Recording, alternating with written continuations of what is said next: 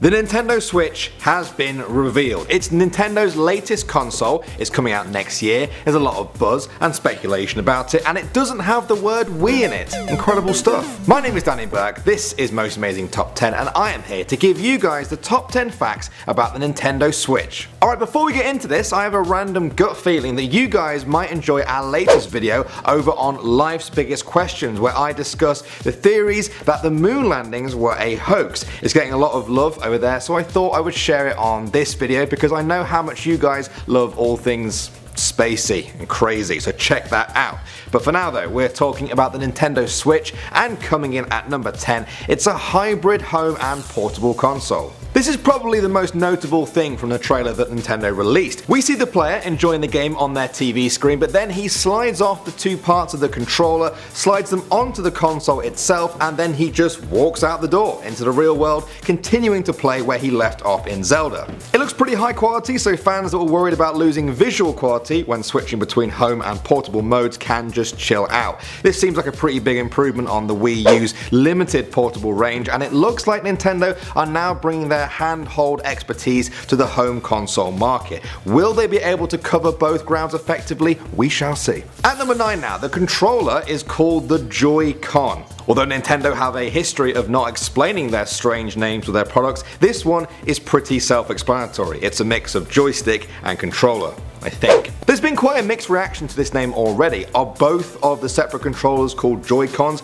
Are they together just called a Joy-Con? I don't know. Some people don't like the name either and think it's a little bit childish. I kind of agree. Nintendo are always trying to reach older demographics and I can't see anyone around my age seriously saying, pass me the Joy-Con, will you? What do you guys think of it though? Coming in at number 8, the release date is March 2017. We don't know the exact date that month, but Nintendo have confirmed it will happen sometime during that month. It might seem like a pretty random date to most of us, but it could be a very tactical move on their part. You see, its release date is almost halfway between the PS4 Pro's release date of November 2016 and the Xbox Scorpio's release date in the holiday season 2017. This could just give them breathing room in between their two biggest competitors and push their sales up significantly if all eyes are just focused on them. Next up at number 7, it uses cartridges. In a world where everything seems to be moving towards digital, it might seem a little bit strange that Nintendo have opted for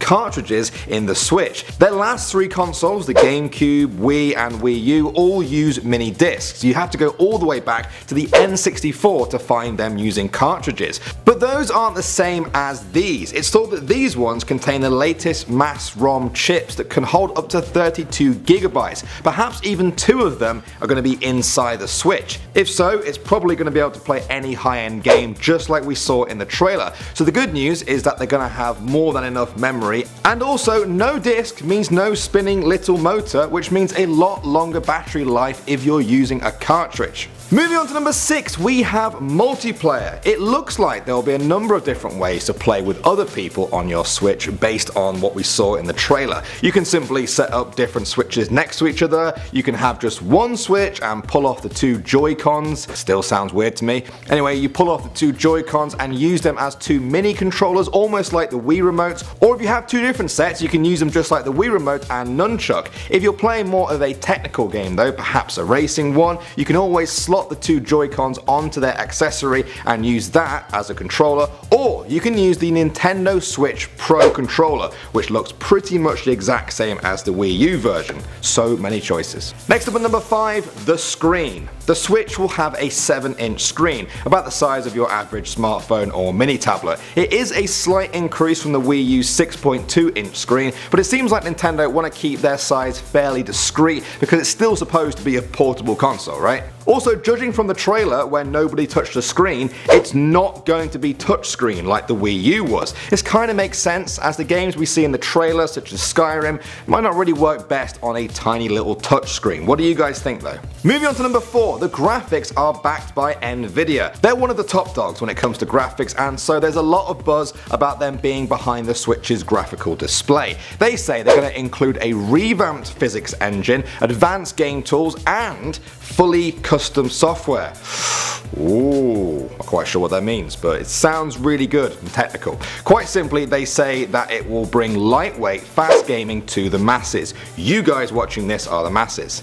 Hello masses. Personally, I think it's encouraging that they aren't just lumping on an updated graphics engine. It does look like they're building the Switch's graphics system from the ground up this time. Coming in at number 3, the games. No point in having a good console without good games, is there? So what will people be playing on the Switch? Well in the trailer we see the likes of Skyrim Definitive Edition, NBA 2K17, Splatoon, The Legend of Zelda Breath of the Wild and the new 3D Super Mario and Mario Kart 8. They also released a huge list of publishers who they're working with such as EA, Activision, Sega, Ubisoft, Capcom, Konami and Telltale Games to name but a few. Actually that was quite a lot, wasn't just a few, but you get the idea. There's some really big names out there making games for the Switch. Next up at number 2, they could be quite rare. Nintendo have announced that by the end of the financial year, which is March 31st, they hope to have shipped 2 million units of the Switch. This might sound like a lot, but it's actually over a million less than they shipped for the Wii U's launch,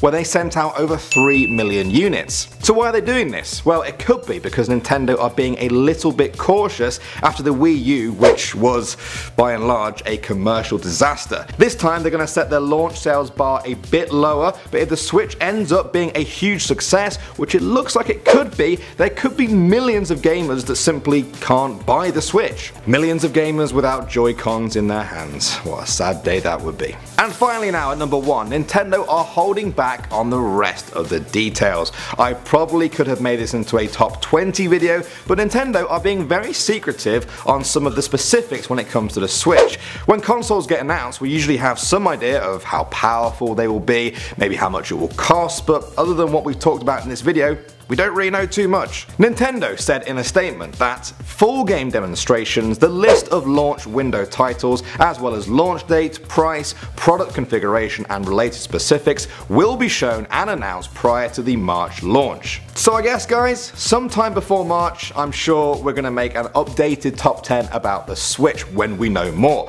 What do you guys think of it though from what you've heard so far in this video? Do you know you're gonna buy it already? Are you sure that you definitely won't? For now though, I hope you did enjoy the video, I hope you subscribe to the channel if you haven't done so already, and I hope you have a lovely remainder of your day wherever you are. My name is Danny Burke, this is Most Amazing Top 10, and I'll see you all in the next one.